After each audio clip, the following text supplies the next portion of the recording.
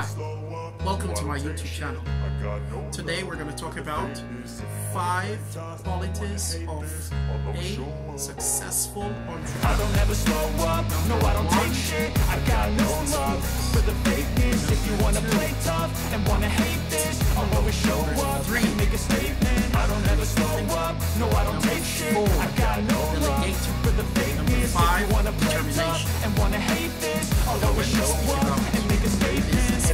Do so instinctive and so passionate Every word I move so descriptive like an adjective I got a vendetta against people who patented Being negative when you should be getting after it I got facts over facts over tracks, this and that, spitting slow, spitting fast. I could roast, I could gas, think I'm okay and last, but I don't know if that can erase all the past and the pettiness. A reflection of the emptiness, hilarious. You think you're worth my time, you're delirious, mysterious, because you hide behind a fake exterior, inferior. You know I'll always be a bit superior. Get off of me, this ain't no humble brag. I want you to hear words, you can say them back. I want you to feel free from the chains at last, and to believe in what you got. It was built to last, yeah. This is where he has thoughts Now that I'm to in accomplish his the goals.